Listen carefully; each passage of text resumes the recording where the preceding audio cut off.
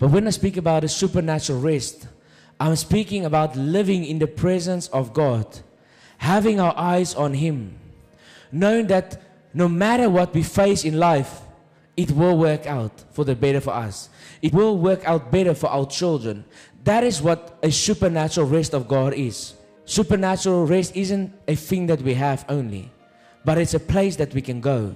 It is actually a place from where we are supposed to live as a Christian because the Bible says we are the temple of God. And then the Bible also says that we are living in Christ. We are seated in heavenly places, but we are in Christ. How many of you are in Christ? So that is a position that you as a Christian can be and dwell from. Because Jesus is the Prince of Peace. So, how do you receive the place of peace or the supernatural rest of God? Be in Jesus. No matter what you go through in life, I know every one of us are facing natural things. Maybe you lost your work, maybe your loved one passed away, maybe someone betrayed you, maybe a friend doesn't want to be a friend anymore. I do not know what you have gone through this last year. But one thing I can tell you the moment you go to God, He will give you rest. It's a guarantee, it is a promise from God. He will give you rest. It is not His desire for you to carry all this weight that you're carrying right now. It is not His desire for you because you're not built to carry the yoke of this world. You are built to carry His yoke that is light. Are you with me? If I see my daughter carrying something that's like more than her weight, I'm going to go and help her. But how much more our Heavenly Father? But the problem is we go like this God is standing there, and we have this weight and this heaviness on us, and He's waiting. Come to me, I will take it. But we can run this race. For when I am weak, He is strong, but then we run on our own, not running to Him. The moment that you go through a time of tribulations or a wilderness times, you must remember as a Christian, there will be seasons in your life. The biggest mistakes the Christians sometimes make is they think everything's just going to be hallelujah from the day you get saved until the end. No, the moment you give your life to Jesus, all of hell is not happy of you, but you have all of heaven backing you. Are you with me? That actually rhymed. I'm a poet and I don't just know it.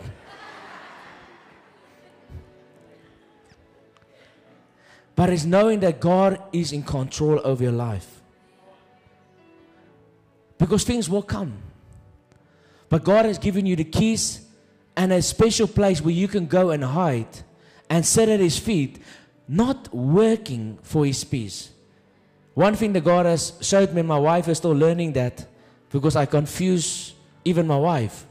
Because she knows that all the storms and all the things that we are facing. I said, But how are you just relaxed? I said, Because. There's a place that you live that you just relax. A place that you live that no matter what the enemy throws at you, you just stand and you look at him knowing that no weapon formed against you shall prosper. Knowing no matter what is done, it cannot affect you. It is only a matter of time. Are you with me? I want us to go to Romans 8, verse 25. And it says, But if we hope for what we do not see, so if we hope for things that we cannot see, maybe you cannot see this thing that you are stressing about being removed from your life. Maybe it's a sickness, maybe it's a bill that you need to pay. No matter what it is, maybe it's accusation from a friend or a family one. No matter what it is that you're hoping God for, we have to perceive it and wait for it. It says, But if we hope for what we do not see, we eagerly wait for it with perseverance. I want to encourage you this evening do not give up on your circumstances because God has not given up on you. Are you with me? But verse 26 says, Likewise, the Spirit also helps in our weakness. So when we are weak, He is strong. For we do not know what we should pray for as we ought. But the Spirit Himself make intercession for us with groanings which cannot be uttered. Oh, but Pastor, everything has to be interpreted. No, the Bible says it cannot even be uttered. It is a groaning. Because you get to a place sometimes, I don't know how many of you have been there, maybe you are special and I'm not, but I've been to places that my words doesn't want to come out. A place where you're just high for. You're like, God, I don't know what to pray. I just groan. You go before him in your in your in your secret place and you just pray. At that moment, you'll see a lot of your friends, your family, ones that you thought is going to pick you up, is nowhere to be found. And sometimes it is even them throwing the rocks at you. And that is not a bad place to be. That is the best place to be as a Christian because then you no longer look to people as your Savior, but you look as Jesus Christ, your Savior. So God sometimes. Sometimes it's not His plan for us to go through these things, but He allows us to go through these circumstances, through these things, that we can be strengthened, our spirits can be strengthened, and that we can build a reputation in the spiritual realm. Are you with me? Jesus, I know. Peter, I know. But who are you? Paul, I know. Who are you? The moment you're facing a mountain and you overcome that mountain, you get more authority. You're building a reputation, and then you can help other people afterwards out of that easily. Are you with me? And tonight, maybe I'll say, yeah, I'll say a bit of my testimony. And verse 27 says, Now he who searches the heart knows what the mind of the Spirit is, because he makes intercession for the saints according to the will of God. You see, sometimes when we go through a difficult time, we just pray for the thing that we see, but we don't pray for the will of God for our lives. We pray, God, bring this breakthrough, bring this breakthrough. But God is saying this breakthrough was sent for you, for you to be shaped, for your character to be folded. But that is why it's important for you to pray in tongues because then you pray and in your mind you're, you're thinking God this you're going to remove this thing but God is actually saying no I'm changing your character through this thing and when your character is changed this thing will not be there anymore. Are you with me? But there's a place that we can go into his presence where there's a supernatural rent that does not make sense the supernatural peace and rest of God will not make sense to the people that surround you. People that know you and know your circumstances, it will not make sense. It will not. And they will be confused. And that is how the enemy is supposed to be. He's supposed to be confused. How is this possible that you have peace in a storm? It's like Jesus. He was just lying on a boat, relaxing. I hope you understand when that boat wasn't closed. It wasn't like in a submarine where water couldn't come in. No, it was in the front and the bow of the boat. Water was coming upon him. If I just put a little bit of spray can on you when you sleep, you'll quickly wake up. But Jesus was at so much rest and peace that he went in a place that the water did not even affect him. Physically, it did not even affect him. He was sleeping. And that is what God wants you to be not a sleeping person, but a person that lives, lives, not sleep from a place of rest, but live from a place of rest. That you will take dominion from a place of rest and not a place of toiling. It is supposed to be easy. And it goes on in verse 28. It says, And he and we know that all things work for the better for those who love God. How many of you love God in this building? So God is giving you a guarantee God is giving you a promise. Oh, but Pastor, you haven't prophesied of me. Prophet Leon hasn't prophesied of me. This prophet hasn't. There's one prophet that's above every prophet, above every pastor, above every apostle, and his name is Jesus Christ. And he said, This is a prophetic word for you and your family. That all things will work out for the better. So the moment that the storm comes, you must just look at it. It's just a matter of time, and this will be a testimony. But sometimes when the storms comes, we want to see the storm and we're like, is there a whale? Is there a shark? Is there what is in the storm? What is putting a threat on my life? And we put so much emphasis and so much concentration on the storm that we forget about the one that walks on storms. That we forget about the one that is our Prince of Peace, the one that helps us and guides us. It is no longer for you to live, but for Christ to live. So, why are we facing our battles on our own? Why do we carry all these burdens, this burnt out? Why do we carry it on ourselves? Why don't we just go to Jesus and say, You are 50 50 partner. Actually, you're 100%, I'm zero. But I give you my problems. You're not supposed to carry your problems alone. And that is why it's even good for you to not to neglect the gathering of the saints. Because nights like this is special. Feel the atmosphere. It is special because God wants to bless His children supernaturally. And it goes on, it says, For those who are called according to His purpose, every one of us has a purpose on this earth. For whom He foreknew, He also predestined to be conformed to the image of His Son, that He might be the firstborn among many brethren. Moreover, whom he predestined, these he also called. Whom he called, these he also justified. And whom he justified, these he also glorified. So here God is saying, like, everything will work out for the better for you, and I will justify you. Because sometimes the burdens and the yokes that we're carrying is because of our mistakes. Let's just take ownership for our life. Sometimes the things that we are facing is because of us. We say, Devil, it's you, devil. No, you just have to do this. Come out of yourself. Because I think if we as Christians sometimes get deliverance of ourselves, we will be much going much faster and further with God. Because sometimes and most of the times we are our bigger problem. Jesus has already dealt with the devil, he has no power. Are you with me? But God will justify you and then he will glorify you. And for many of you this evening, it sounds impossible. How can God bring me to a place of glorification if I cannot even stand out of the bed? If I don't even feel to pick up my phone, I have been there many times in my life. Let's just be real tonight because some people just want to be pretending that everything is fine. No. It is good that we speak transparently to one another when we go through things, that the other ones that's weak in the flesh, in the spirit, can grow and can see that this battle is possible and it is not impossible for us as Christians. Are you with me? Because you are facing the same things that many people around you are facing, but you think it's impossible. But the moment you listen to someone else's testimony, but like, listen, I have more education than this person. I'm better than this person, but yet they have made it, so that must make it more easier for you to understand that you can make it because it's not about your education or who you are. It is about the one that is the Prince of Peace, and his name is Jesus Christ. And that is why our testimonies is very important. So if you are willing tonight to lay your life before Jesus and put your help in Him, He is faithful and just to help you. He will never leave you, the Bible says. You have come so far already. Many of you have fought many battles. You have fought so many battles, sleepless nights in prayer and studying the word and giving and in fasting. You have done the works yet you are still where you are. Tonight, I want you to say, God, I surrender to you. I give my life to you. I give my circumstances to you. May you be Lord over my circumstances. May you give me rest for my flesh. Some of you are physically, you cannot wake up. You're, you are burnt out physically, medically, you're burnt out. But we will have to give our circumstances to Him. Maybe emotionally, you're just tired, you're fed up. Maybe spiritually, you feel like you're nowhere.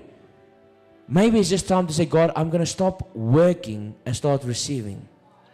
But as Christians, we have learned from a young age that we have to work, work, work, work. I have to repent. I have to do this. The Bible says, believe in your heart and confess with your mouth and you are saved.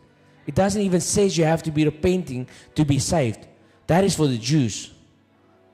That is not even for Gentiles. But let's get that. I'll maybe preach that in the future. We have made repentance works the power of the gospel where it is not supposed to be the power of the gospel. It is our faith in the gospel. For I am not ashamed of the gospel of Christ, for it is the power of God to salvation for everyone who repents. Oh, so why have we made repentance stronger than believing in God?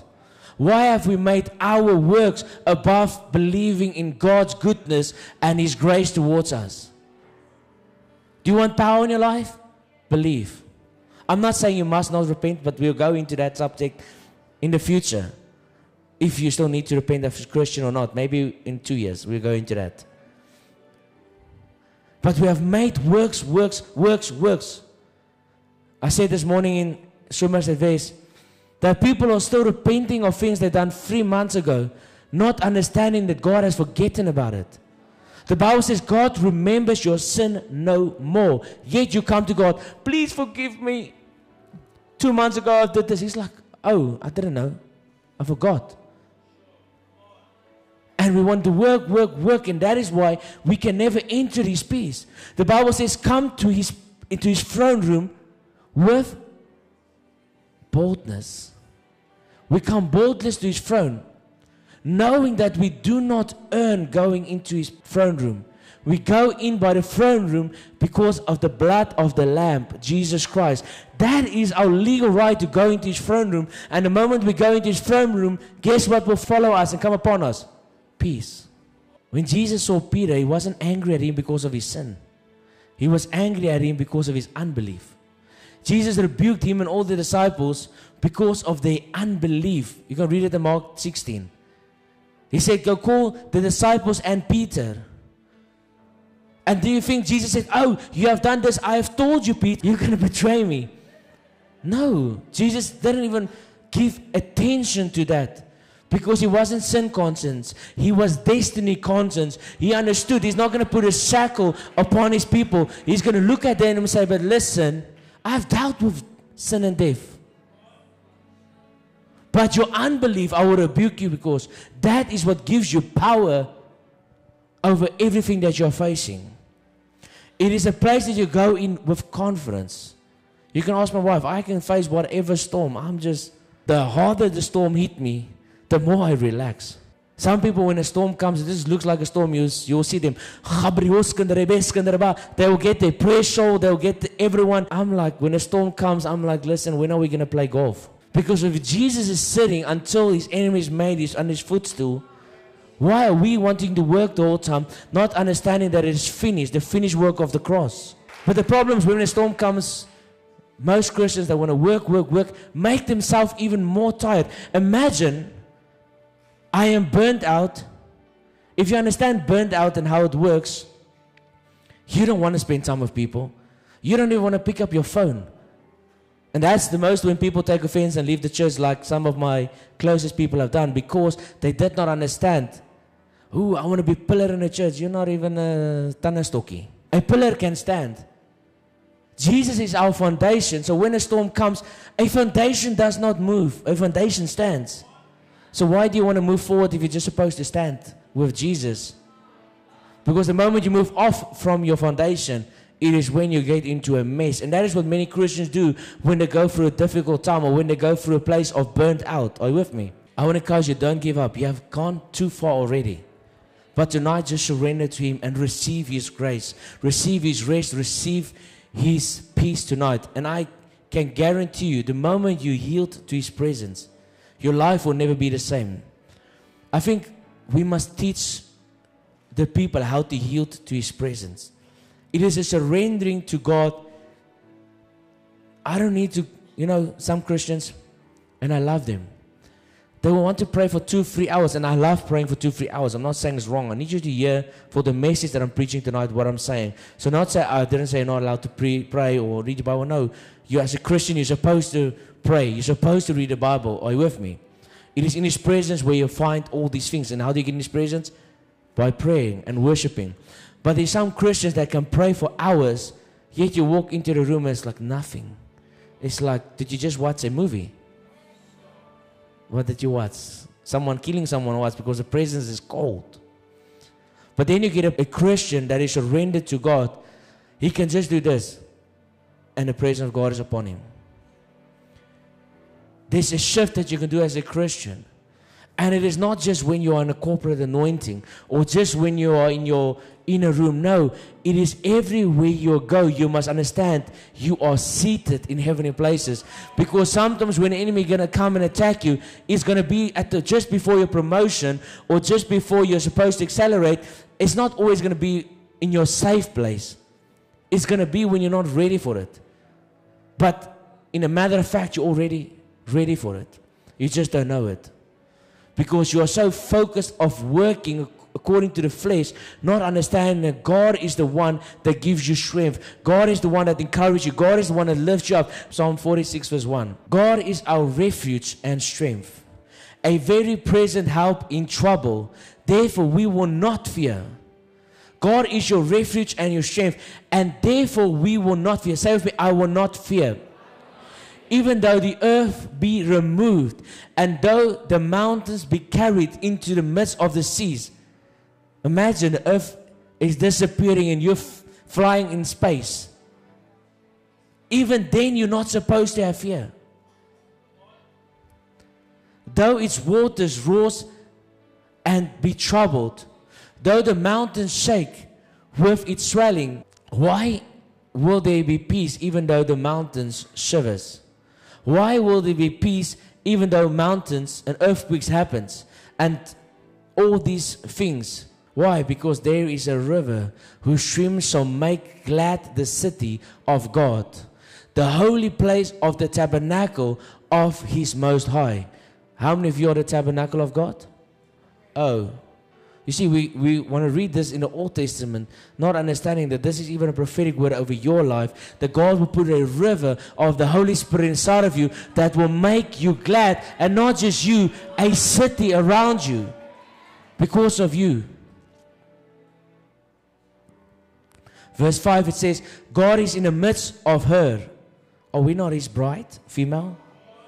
Oh, God is in the midst of her. He shall not be moved. And this is speaking about you and I. God shall help her just at the break of dawn. And that is why joy comes every. Oh, okay. So you're getting it now. Verse 6 The nations raged, the kingdoms were moved. He uttered, uttered his voice, the earth melted. God raised his voice and the earth melts. Yet we still fear our circumstances. Yet we still fear our bills. Yet we still fear our sickness. Yet we still fear depression. Why? If you have the one that lives inside of you that opens up his mouth and the earth melts, why are we afraid of the devil and his minions? That is why I can have rest no matter what I go through. Because when my God opens his mouth, it is done. It isn't, you know, Christians have this nice dancing they do in church where they'll get a young person and the earthly people or the demons are tracking it and then Jesus is there coming in between fighting. The biggest load of nonsense because Jesus is not fighting the devil. When Jesus steps onto the scene, it is done.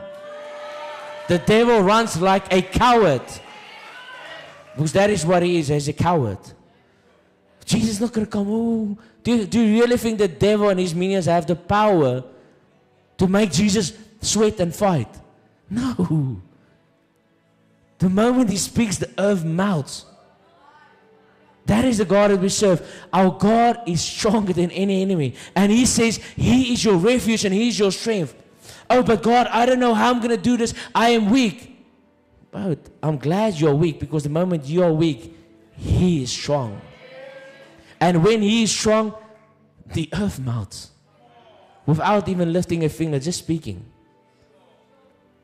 So maybe we must stop speaking what we want to speak over our life and say, God, may you speak over my enemy. May you speak over my circumstances. Verse 7 The Lord of hosts is with us. The God of Jacob is our refuge. Selah. Come, behold the works of the Lord, who has made desolation in the earth. He makes wars cease to the end of the earth. He breaks the bow and cuts the spear into two. He burns the chariots in the fire. And here is the secret Be still and know that I am God. Be still. Because sometimes when we go through a time of turmoil or a storm, we open this thing too much. And we eat of the fruit of our lips. So sometimes when you go through a difficult time, just know that this God that opens his mouth and the moment he utters a word, the earth has the capability to melt into pieces. You still have to use a shovel just to move a little bit of sand, sweat and get blisters. God just say a word. I Sounded American there. God just says a word and the earth melts. That is the God that we serve. So he is our refuge and our strength. So you are not as weak as the devil tells you you are weak. You're not as weak as your parents or your family or someone else tells you you are. You are as strong as he is because he is your strength in all things.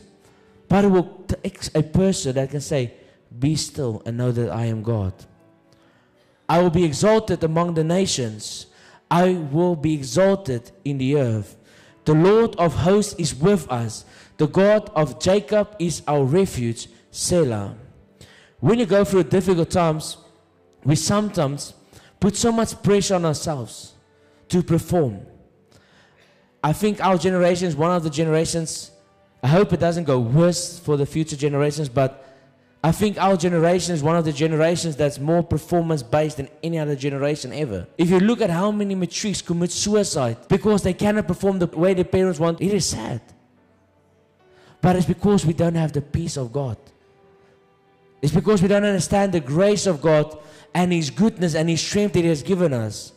And we as people put that pressure on ourselves and we put that pressure on our peers. And remember, what you sow, you shall reap. So if you put pressure on other people, guess what's going to come to you? Pressure. And that is why we must be able to receive the grace of God in a moment of just yielding to Him and going into His presence with boldness, not with crying. You see, God wants you to come with boldness. A person that is bold does not have is not sin conscience. A person that has comes to Him with boldness is not shame conscience. It is not condemnation. There's no guilt in that person. Why? Because before you go to Him, you are bold. Sin takes your boldness away. So when you go into God's presence, He's not waiting for you to, oh Jesus, oh, you know, you know. You have these people, they want to make a drama for Jesus. And that is why your life is a drama. No, I'm serious. The moment you go to his room, those stuff is not in his presence, except if you hold on to it. God does not remember. The Bible says God remembers your sin no more. So you go into this room with boldness. What? To receive strength, to receive refreshment, to let this river that has placed already inside of you, that this river can flow. And when this river flow, there is life in everything that it touches. May be your healing, may be your body, maybe your mind, may be your finances. Wherever this river touches, it shall bring forth fruit. Are you with me? Save me, my life will bring forth fruit. And that because of all the pressure and all the anxieties that we put on ourselves, we burn out. And we're not able to run the race that God has called us to run as Christians. And it even makes us to want to be isolated, don't want to come to church, don't want to spend time with your family, spend time with people that cares about you. And that is what burnt out does to you and I as a Christian. Some people even become sick and some even turn against their family members, not because they are bad. I need you to understand if someone goes into a burnout, it's not because they are bad. It is just because they are weak in a certain area, or it's a thing that they have to face to become stronger. Are you with me? Sometimes when people get burned out, it is self inflicted, it is calling inflicted. Jesus had anxiety once because of the great calling that he had on his life. He knew that if the next day he's going to have to go and die on the cross. And he was so had so much anxiety and fear that he started to bleed sweat. His sweat became blood. But it was for a purpose. But he, he knew that if God is for him, everything will work out for the better. And that's why I say, God, not my will, but your will be done. If it's not your will, let this cup not pass me. Because you understood, I'm not going to fight this thing because then maybe something else will go more. I'm just going to surrender to your will. Sometimes when you write a test, let's just write the test, then going back and find out why are we writing this test. Write the test and pass the test. Are you with me? And sometimes when we go through these times of burnt out, our tongues become sharp. And it's not because you hate the person next to you. And I'm guilty, you are guilty, I believe. I'm transparent tonight. We all go through these things. But I don't want you to have so much guilt and shame any longer on you because God knew that you're going to do it before you even done it. And He has given you grace to overcome this thing. Are you with me? So the moment you can forgive yourself and the moment you can move on, you will not have this yoke and this heaviness on you any longer. You'll be able to run the race that He has called you to race. Run, are you with me? Because there is a place in His presence where He gives you rest a place of supernatural rest. And this happens in a supernatural time. I know people say when you go through a burnout, out, it can take you six months. Some people even take off from work for six months to a year to go out of burnt out. And I understand it. I'm not saying I am heartless towards those people. I understand in the physical, you have to go through that process. And I was in my mind because I was this year burned out. Physically, emotionally, I was just burned out. And I was like, God, how am I going to restore myself? Because I can't be away from church for three months. I can't be away from church six months. It's impossible. How many of you know it's impossible? But I had to rely on God to do it in a supernatural manner and a supernatural way for me. And He has done it. But I want Him tonight to do it for you and your family. That you don't have to go through the way of the world, to go through it six months, three months. No. The devil and the locust have stolen too much from you already. My prayer tonight is that you'll receive peace and rest supernaturally from God tonight. Are you with me? Matthew 11, verse 28 says, Come to me, all you who labor and are heavy laden, and I will give you rest. Come to me, all who labor and are heavy labor and are heavy laden, and I will give you rest. So when you read the scripture, you must see that God wants to deal with your problems. He's inviting you, come to me with your problems. Don't come to me acting like you everything is fine. Come to me with your promise. And when you come, I give you a prophetic word. I will give you rest. So he gives you an invite, but he also gives you a promise with that invite. Come to me and I will give you rest. Take my yoke upon you and learn from me, for I am gentle and lowly in heart, and you will find rest for your soul. Because you can only prosper as your so you need rest, you need peace for your soul to prosper. It's not the amount of hours that you work that will make you prosper. It is, is your soul prospering? Verse 30 says, For my yoke is easy and my burden is light. Bless you. My burden, your burden is off from my shoulders. Can I be real? Want me to preach just some nice 10 point sermon that's going to make you jump up and down? After tonight, I pray that you will have His presence rest upon you, that rest will be your portion and peace will be your portion.